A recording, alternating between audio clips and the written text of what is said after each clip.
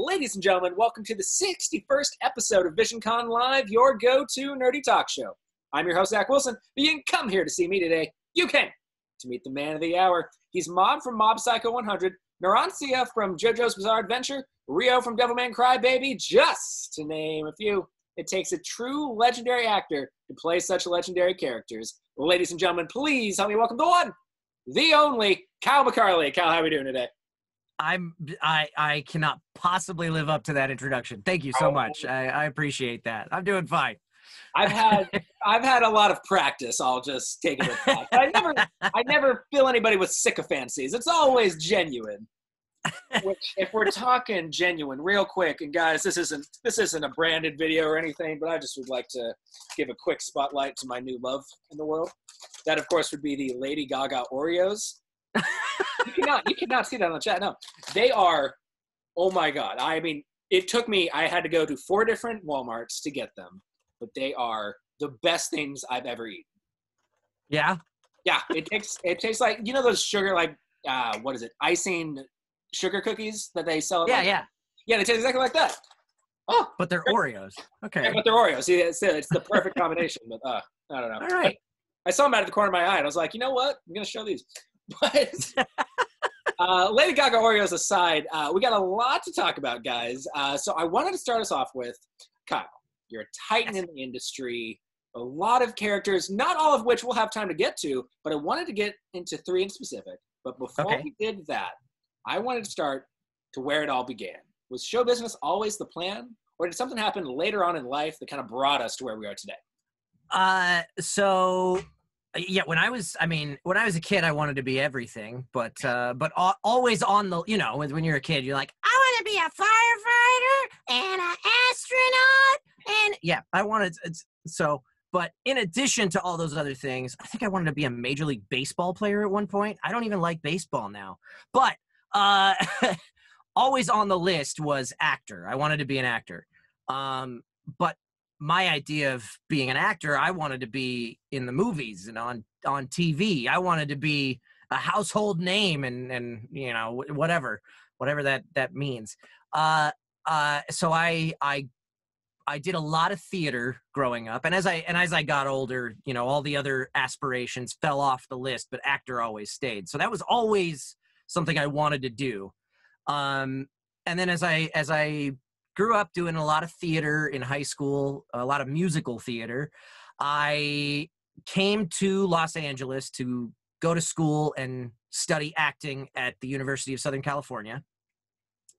Uh, and always with the objective of, you know, moving from there into being on camera. Sure. And uh, uh, I spent about a year after I had graduated from USC not really trying all that hard to be an actor, but still calling myself an actor. Okay. Uh, uh, and I finally realized about a year later that I, I, I was like, you know, I've kind of lost my passion for this somewhere along the line.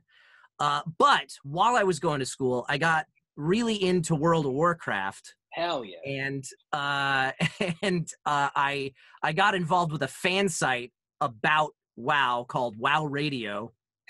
It was a podcasting network, except it was live podcasting. It was called Shoutcasting back when that was a thing through Winamp. Um, uh, anyway, uh, so got into that, and and when I got into that, I was uh, maybe a month into playing WoW, and me and all of my buddies from high school got got into it and and found this this podcasting network and they were looking for new show hosts and one of my friends was like guys we should host a, a talk show about wow. And i was like we've been playing this game for less than a month. We don't know what we would not know what we're talking about. But all of us were theater kids so i suggested that we do a radio play. Uh, and we we so we started doing that and they liked it. They or liked it enough to to let us keep doing it. Um and uh, and eventually started doing talk shows and other stuff about wow and then not so much related to wow but whatever so the radio play was something that i did while i was in college and a year after college when i was floundering around not really knowing what i was doing with my life anymore i went that radio play was a lot of fun I should take a class in voiceover and see what that's all about. So I did, and I fell in love, and I just went headlong into that, and I've been doing that ever since. The rest is history. Yeah. um, shout out to Wow. Yeah, right? Where it all began. Well, like I put up top, a bunch of characters you voiced throughout the years, three of which I want to talk about. And the first one is very near and dear to my heart. I love him to death. A lot of people already know who this character is, but for, without further ado, I want to talk about the one, the only, Shigeo, aka Mob from Mob Psycho 100. So, Ah, so before we dive deep, just real quick, give us a brief overview of the character, maybe fun anecdotes involved with getting the part, anything at all. Uh, so okay. Um, I well one one fun little anecdote is when we started the, working on this show.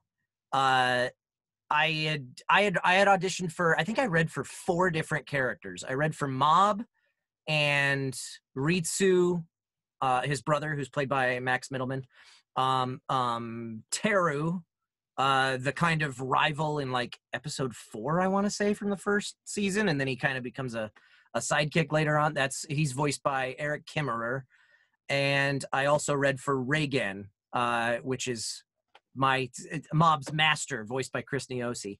Um, uh, anyway, after auditions and and booking the role, and my first session, we we listened to my audition for reference and we kind of set the character's voice based off of that which is kind of standard fare where we you know you, you listen to the audition you repeat a little bit and maybe they make a couple minor tweaks to the audition. Sometimes they make major tweaks to the audition. In this case i think we stuck pretty close to what i did in the audition and uh uh started started recording the the show from there. And i think we had uh, gosh this was so long ago. I think it was like a four hour session to start things off um which is pretty typical. And we got through i would guess the first episode or two maybe if that uh I, I don't know it's it's it's hard to say it, it kind of varies depending on the show and i don't remember specifically but i do remember at a later session two three four sessions later we're working on episode five or six or something like that and we load up the the reference audio which is stuff that was recorded in our very first session uh, and and hit play and chris Cason is our director and throughout every session uh, he keeps making he keeps giving me the note of ah, i think it'll be funnier if it's a little bit higher pitched than than where we're at right now uh, so we played anyway. We're we're in episode five or six or something at the at the start of this session, and we play reference from episode one.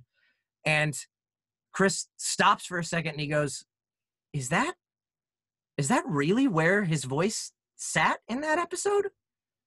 And we go and we load up the episode and we start playing some of it. And he went, "Wow, okay, go back to where we're at now and get and let's play some stuff just from where we left off." and it's like it's it's gone up like half an octave at this point from the first episode forward to, to about halfway through the first season and he was like oh wow well nobody told me that we need to change it so we're just going to leave it where it is uh, so we just kept going from there um, but it's it, it's if you if you watch the first you probably won't notice it all that much if you're watching everything sequentially but if you have just watched something later on in the series and go back to the first episode, it's a very noticeable shift how much the voice changes over over time. Um, I know what I'm I- really going to do after this. yeah, right.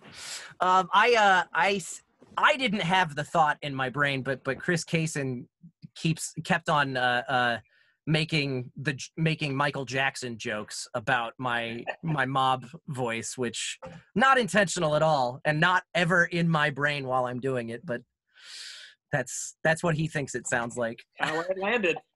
Yeah.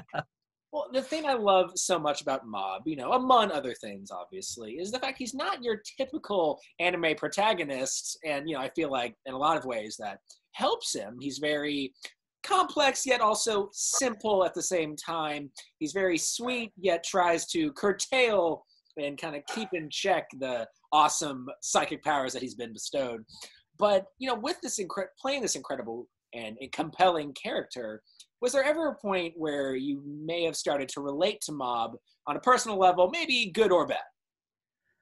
Oh, early, early on. Um, it, it, it's Shigeo has has that that childhood innocence that is. Uh, I, I mean, maybe it's not it's not readily available in your in your memory, um, in your day to day life, but but it's pretty easy to remember a time when you were a kid and everybody was great and everything was great and you know just that implicit trust that he has in all other people uh un, you know until until the Sure. until the the glass shatters with with any given villain or something but uh he's he's just he's so he's such a cinnamon roll he's such a sweetheart that is that he's just he's just so uh uh i don't know it's it's that that innocence is is so easy to to to tap into and and and, and relate to i i don't know why that is uh because i don't feel like I am that way in my day to day life necessarily, but there was a time when I might have been. There you go. Mobs who we wish we still were. Right. Yeah, exactly. Well, kind of jumping ship to a much uh, different character in that regard. Now, Okay. I've, as I've voiced before, ladies and gentlemen, I'm royally late to the JoJo train. I don't know if JoJo train's a thing, but I'm going to coin it. but I'm here now, guys, and I see it. I see it. So I want to talk about one of the most beloved characters in the series. Let's talk about Narancia. Now, like we did beforehand, just give us a brief overview of the character, fun anecdotes involved, anything at all. Oh gosh. Uh yeah, I t- t- to be completely honest, I am not a JoJo fan. Woo! Uh, I, I yeah, I know. It's, it's it's and it's not anything against the show. It's just I've never gotten into it. I I don't I I have not watched uh much of it at all really uh, outside of outside of stuff that that I see in the booth or saw in the booth. I mean, my my time on the show not spoiler alert, but my time on the show is over. Uh Uh, but Narancia's a fun character. He's he's he's a he's a hothead, and um, I I think honestly I think the most memorable scene for me is is his like, kind of the our intro to the character when he's trying to do math and failing absolutely miserably. Uh, I I I find great joy in in how he he successfully does a little bit of the math and then we cut away from him and when he comes back he's gotten it so so much worse.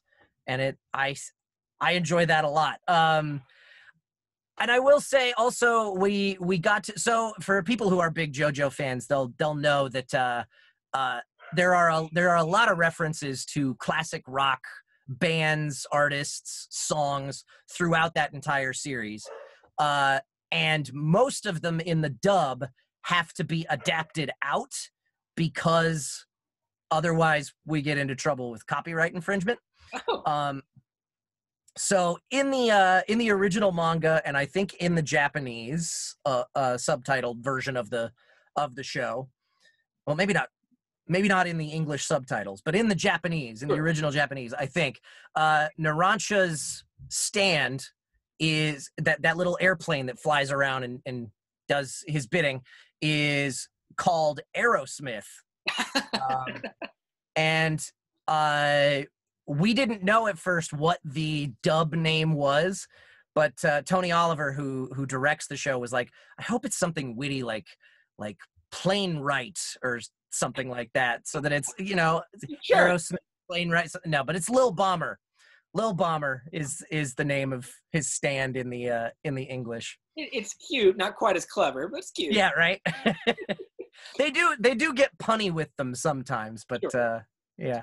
Well, you, you said it out of your mouth. It, he's quite the hothead. So Oh, yeah. you know, transitioning into that as his voice actor, and maybe not limiting it to just him, but any character that is more of a hothead and requires more intense recording sessions, when you know in advance that you are going into a more intense, dexterous recording session compared to the usual ones, Is there anything you do to prepare? Anything you do throughout to make sure your voice stays well? And then at the end, is there anything you do to recover? Yeah, uh, Narancia wasn't too bad for me for for some unknown reason, really, because he is in a placement in my vocal range that is higher and harder to hit sometimes. I don't know. This might have been this might have been Tony just being an expert director and making sure that I was scheduled at times of the day and times of the week when my voice would be awake and fresh. Uh, and he's also just really he's he's really efficient as a director meaning he doesn't spend a whole lot of time going ah that could be 5 or 10% better than it is right now he'll he'll kind of just he'll do that clint eastwood thing where it's just like no we got it we're moving on it's good uh, so that might have been part of what preserved it. Um, but uh, in terms of vocally stressful sessions, they're they're a thing. And I don't know if I I would say that they're unusual. They're very common, hmm. um, uh, especially in video games, uh, but also in anime, uh, a, li- a little bit depending on the character. Uh, and uh, there's avoiding early morning sessions. At least for me, I'm not very awake in the mornings that helps. So if if they can schedule me a little later in the day, especially if it's a character that's that's in the my upper register or or a character that's going to do a lot of shouting, it helps if it's later in the day. It also helps if it's later in the week. If it's uh, if it's going to be something really really shouty, really really strenuous, uh, if if it can be scheduled on a Friday, then I can have a couple days to recover before I get back to work on Monday instead of you know bright and early Monday morning, I do all the shouting and screaming, and then I'm exhausted for my afternoon Monday afternoon session or or the session on Tuesday or or whatever. Um, so that that helps in terms of scheduling. Drink lots of water. Make sure that the instrument is nice and loose at all times. We kind of have as as humans, we have this tendency to when we start getting uh tense from from like emotional tenseness or whatever we all of our muscles start to tense up. And if your if your vocal cords if the muscles in here start to get tight everything starts to get tired faster. So you got to just have to you have to be mindful to try and stay loose while you're in the booth and and make sure that this all stays loose so that it doesn't get worn out really fast. Um lots and lots of fluids. There are tricks you can do to to try and kind of power through particularly difficult sessions. There's a there's a Chinese throat syrup called I'm going to butcher the pronunciation, but it's called Ninjam Pepa Kwa. Kwa. Uh, uh, uh, we call it uh, Fred Tatasciore Hulk juice. Um, but because uh, he kind of introduced it to the VO community. Um, but uh, uh, it's it's basically this this really thick syrupy stuff that there are different ways to use it. I like to dissolve it in hot water and drink it like tea. Um, that helps as it's kind of like a band-aid fix. It's not something that's going to really help. The only thing that can help if your if your voice starts to get tired is rest. Um, but that can that can give you kind of a band-aid fix to just power through uh, a particularly difficult session before you get to the part where you can rest basically. That's a couple couple little tricks. Europe is interesting because we've had plenty of other guests who've recommended that to the point that i'm about ready just to contact them and maybe see if we can squeeze a sponsorship deal out mm-hmm. but all right so before we move on guys since we're about at the halfway point i did want to reiterate fans of the show already know this and have already done this. Plenty of you have already messaged visioncon directly or put in the live chat your viewers' comments and questions. You still have plenty of time to do so, but if you're new to the show, first off, welcome. But also, you have plenty of time to do that, and that is available to you. We will get to those at the very end, guys. And with that, we're going to go to our final character that I wanted to talk about. Now, we all know Netflix is killing it with both getting classic animes onto the site while also creating some great Netflix original animes. The one I want to talk about, if if we uh, if we have some kiddos in the uh, in the audience tonight, I would not recommend you check this out. Maybe uh, no, don't go watch this show. wait wait a little bit until you check this one out. But it's wonderful nonetheless, as long as you fit the age bracket. But I want to talk about Devilman Crybaby specifically. I want to talk about Ryo. All right. So before like, we, like we've done, just a brief overview of the character, any fun anecdotes involved, anything at all. Yeah, uh, I got a real fun anecdote about this one. So, Go for it. um, I can't remember what the timing was, but I know I had I I booked this job uh, in the middle of a couple of convention appearances. I had a really busy couple of weeks or, or months or something where um, where I was going to be out of town a lot, uh, and um, Netflix in particular is is very tight with their their deadlines. So the recording window is pretty narrow. Uh, so when they scheduled me to to record for Devilman Crybaby, we did the first.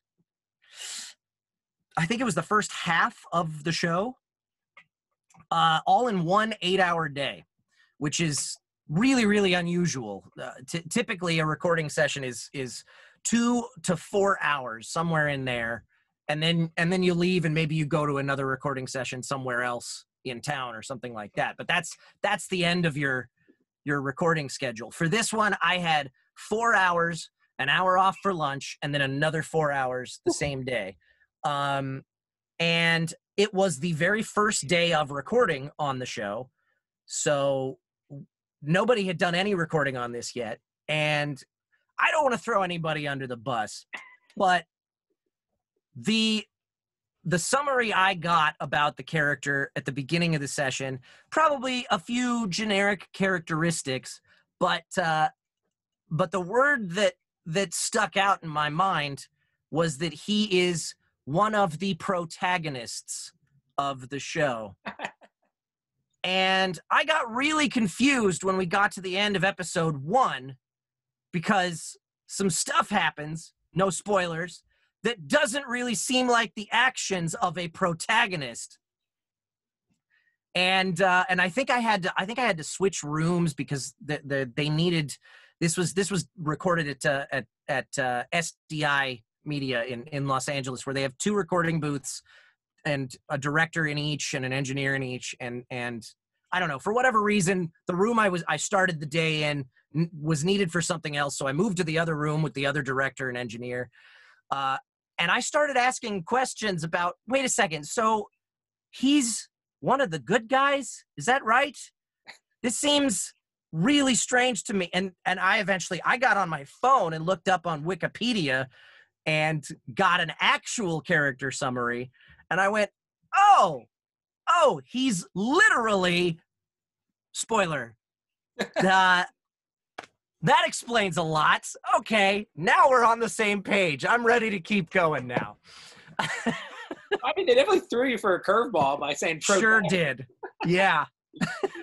Well, and like the thing that makes Devilman Cry Crybaby, Devilman Crybaby rather, uh, so compelling, and one of Netflix's most popular animes on there is its compelling and diverse characters. But so when you and I feel like I could answer this question, but going into it, when you were cast as the main lead, you know, protagonist, antagonist, we'll leave Right. that, we'll leave that Yeah. up to you. Um, did you know going in, or had any idea that it would get to be as popular as it is? I did not. I didn't even know about the about the old dub from the 70s, 80s, whenever that was. Uh, at the time of recording, now it's one of my favorite examples of anime. Uh, at least what not to do. Um, it's so much fun to to watch that. Have you seen that dub? The Oh. original Devilman Oh, dub? the original. No, no, no.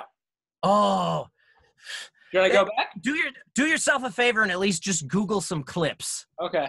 So after after I do the mob thing, it's go back to episode yeah, check it's out. mob. astounding. It's astounding. Um, yeah, yeah. Uh, but no, I didn't know anything about Devilman going into it, which is pretty typical for me. Actually, uh, another anecdote about Mob, if we can, if we can go backwards in time. Al- Always about Um, I uh so that was one where I actually did know a little bit going in. Um before I recorded the audition. This is a little bit earlier in my career. Uh and I had not up to this point done this, but I decided, you know what?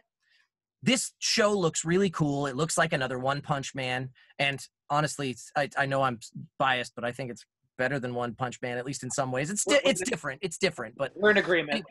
uh, but anyway, um, I I was like, I really want to be on this show. So uh, I decided I was going to do a little research, and I went and watched the first episode subtitled before I recorded my auditions.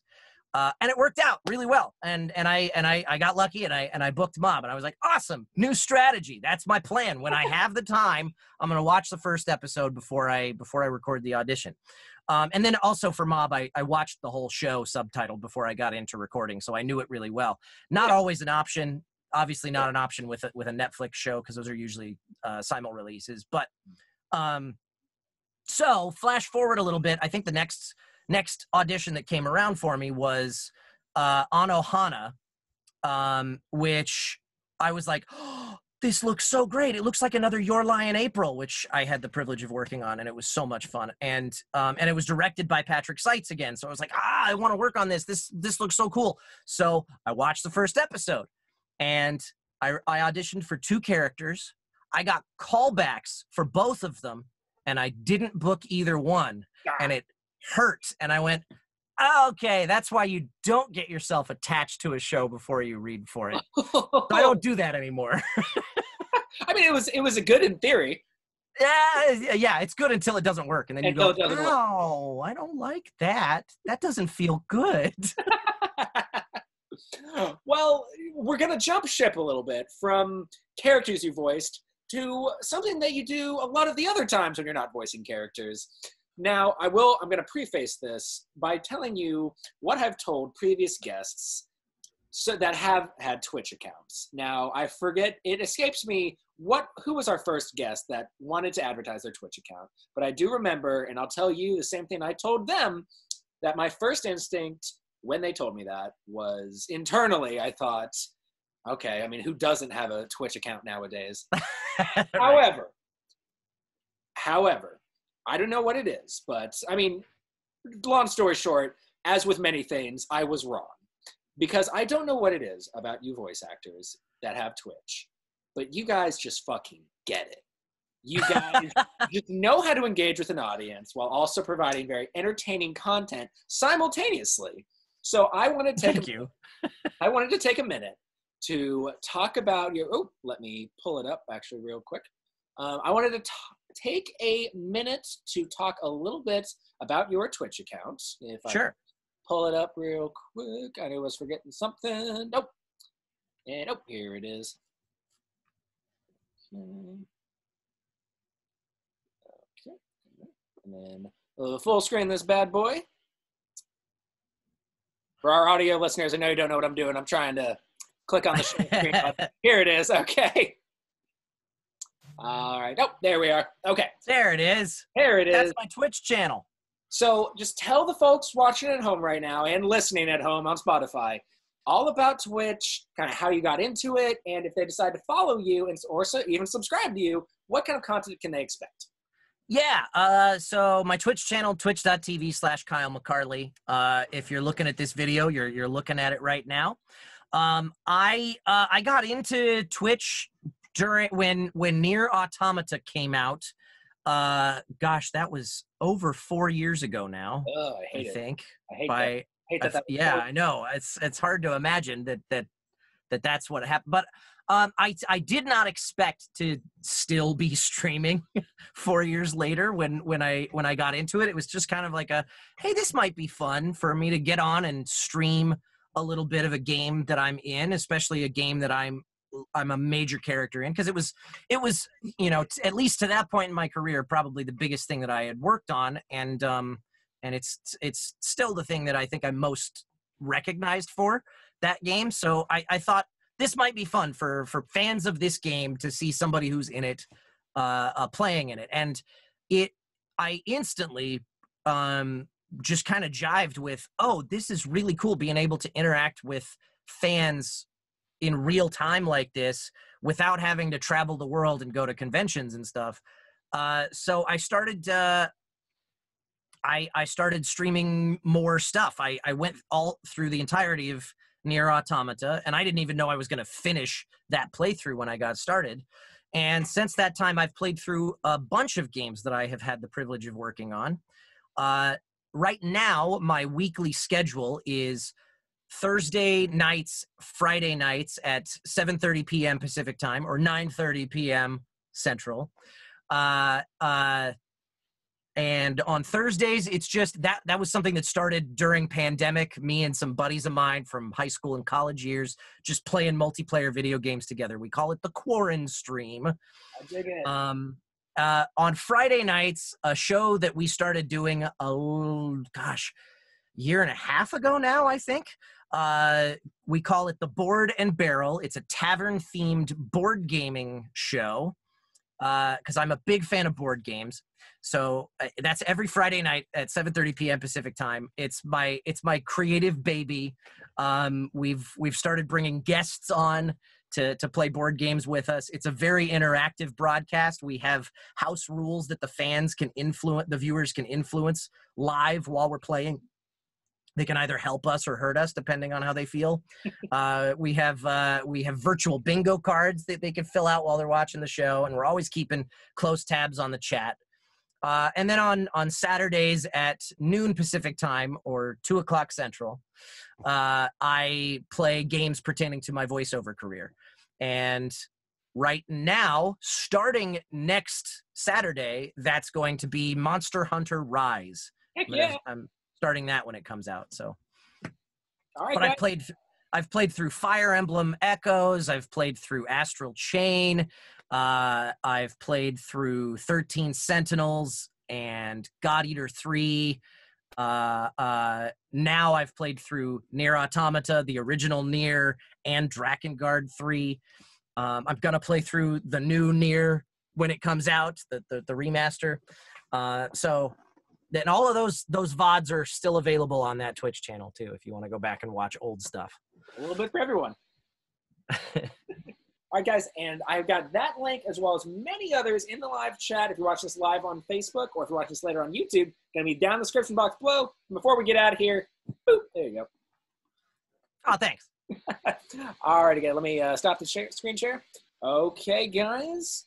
All right, guys. Well, with that, speaking of those links, both in the live chat, if you're watching this live on Facebook, or if you're watching it later on YouTube, down there in the description box below. Speaking of them, ladies and gentlemen, if you haven't already, message VisionCon directly your viewers' comments and questions, or put in the live chat. It's your last chance to do so because, ladies and gentlemen, we're in the plug zone. Kyle McCarley, now is your opportunity to plug, promote, advertise, whatever verb you want to use, anything you want. Floor is yours, sir. Okay. Uh, so well, for for starters, you can hear me in Cells at Work Code Black, now streaming on Funimation. Uh, we've been working on that for the past month or two or something like that, and and it is it's it's a simul dub. It's one of those crazy new scheduled things where we're recording it rapid fire as it's happening. Uh, so that's that's available. Uh, oh, and you're you're pulling up my my autograph section on my website. Yes, you can you can order autograph prints from me kylemccarley.com slash autographs. Uh, Ichimatsu is featured right there. He is from Mr. Osomatsu. The English dub is finally available for you to consume. Uh, it is available on Blu-ray, and I think it's also available streaming through like iTunes and and Amazon and and some other places. I don't think it's included with any streaming services as of yet, but it's very very funny, and I hope you'll check that one out. Uh, also, just released a couple of days ago a very cool, very weird show that is on Apple TV Plus called Calls. Uh, that's got a it's- it's it's got a crazy celebrity cast and also for some reason me. Um i got to do a short scene at the end of episode two uh reading with aaron taylor johnson from this very room.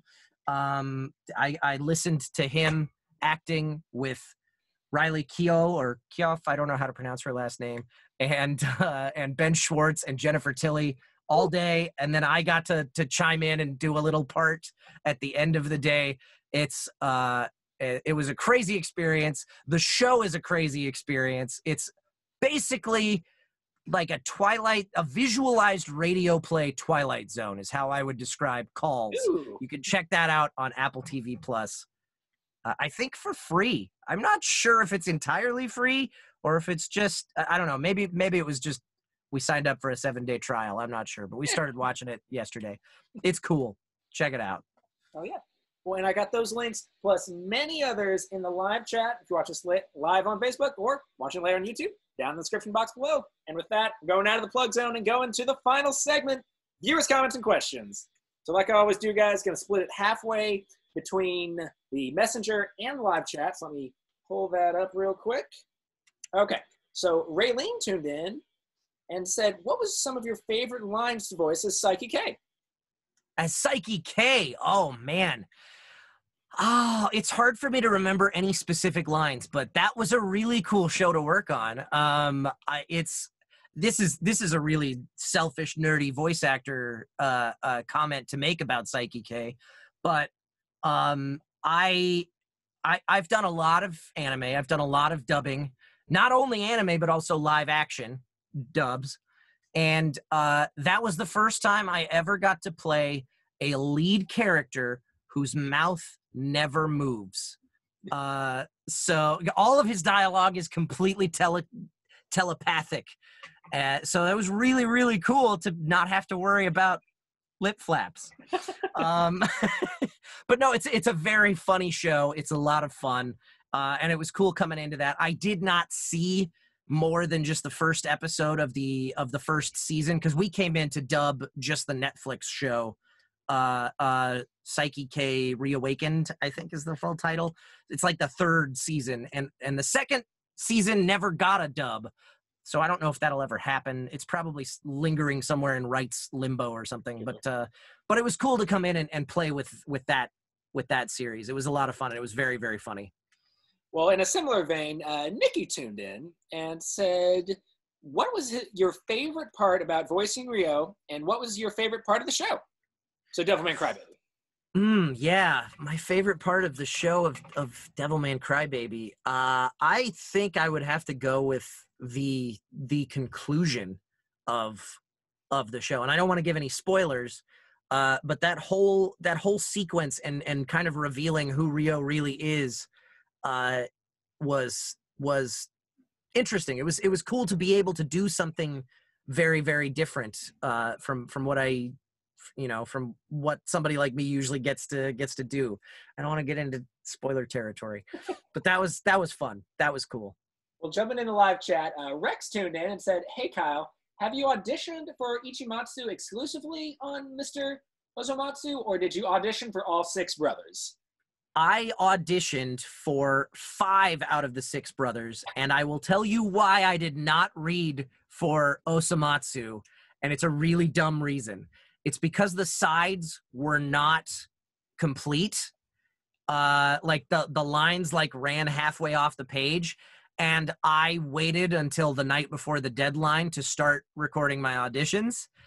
So I didn't have time to to reach out and say, "Hey, can I get the actual script for this?" So I read for the other five brothers, and I think we did a second round of auditions for Jushimatsu, uh, and then did a callback where we were in person because this was this was pre-pandemic.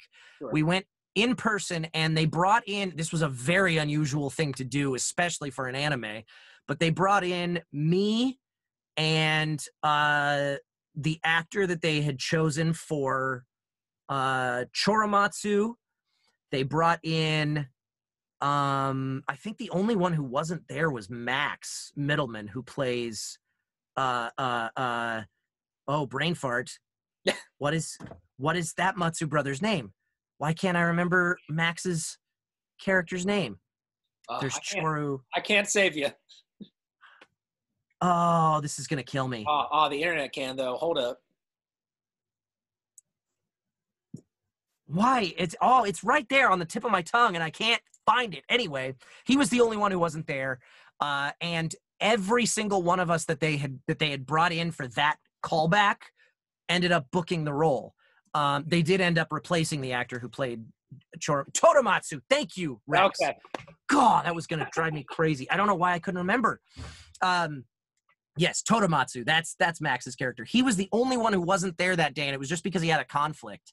But uh, but the rest of us all came in, and uh, and they did end up replacing one of those actors later on. But everybody they brought in for that callback booked the role so I don't think it was really a callback. It, it felt like it was more of like a, I, I don't know, the equivalent of what what a screen test would be for on camera actors or something. I don't know. It was it was a very unusual set of uh, uh, unusual way to do casting. Yeah, to say the least. All right, we got time for two more guys. Uh, the next one's for my boy Chris, and uh, for, uh, apologies in advance. I'm probably going to butcher this. Uh, oh, Chris, why do you do this to me? Uh, hey, Kyle, what was it like voicing Kisaki Matsuribi in Aldnoah Zero? I feel like that anime is very underrated.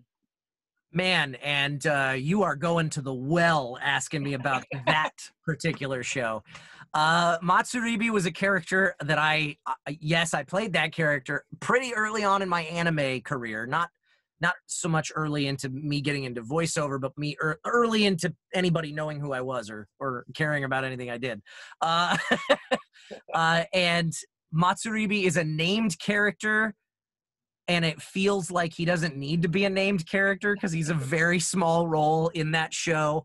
Uh, I and it was so long ago. I I really don't remember much about the process. I I'm sorry. I can't uh, I can't give you much more than that. Unfortunately. Well, we'll, we'll end it off with Aaron, who said, "Hiya, Kyle. I can't wait for season two of Beastars. Um, who's your favorite Disney animal character that you would want uh, Tam or Kolo to hang out with, and why?" Ooh. Uh so those would be my Beastars characters, Yes. which uh yeah, didn't didn't spend a whole lot of time working on that show. They're very very ancillary characters, so I don't know a whole lot about Beastars to be totally honest. Um seems like a really cool show. Seems like a fun fun tone, but I have not watched it. I haven't I'm gonna twist it then. I'm gonna twist Aaron's question to be Okay. what what animal Disney animal characters would you, Kyle McCarley, like to chill with? Let's assume Oh, you, can okay. talk. you can understand All what I'm saying. All right, so Disney animal characters that I would like to hang out with. Well, the first one that has to come to my mind has got to be uh, Robin Hood from from the old school Robin Hood movie, uh, and it's not just because there is a pencil sketch hanging on the wall that a fan gave to my wife at a furry con she went to. my my wife is the voice is Katelyn Gault. She's the voice of Fenneko in Aggretsuko and uh, and she told somebody at some point that her favorite Disney character was Robin Hood. Um, so, but but I like that's also I think that's also the case for me, at least as far as the animal characters go. Robin Hood, uh, I, and I got to play Robin Hood, not obviously the Fox version, uh, in a in a stage show when I was in college. Um, so yeah, I'm gonna go with Robin Hood. Hell yeah. Perfect choice. All right. And with that, ladies and gentlemen, that's about all the time we got. So, ladies and gentlemen, this has been episode 61 of VisionCon Live. Before we wrap things up, Kyle McCarley, any final thoughts to leave us on? Sage like wisdom, anything at all? Uh, choose happiness. That's that's my advice for you. Couldn't say it better myself. Whatever whatever you can do to I, I know it's harder to do some days than others, but but choose happiness. Ladies and gentlemen, this has been episode 61 of VisionCon Live. Thank you guys so much for watching. I, of course, am your host, Zack Wilson, but much more importantly, this has been my very special guest, Kyle McCarley. Make sure to check out all the links down in the description box below, guys. And until next time, always remember that life's better when you have friends to share it with.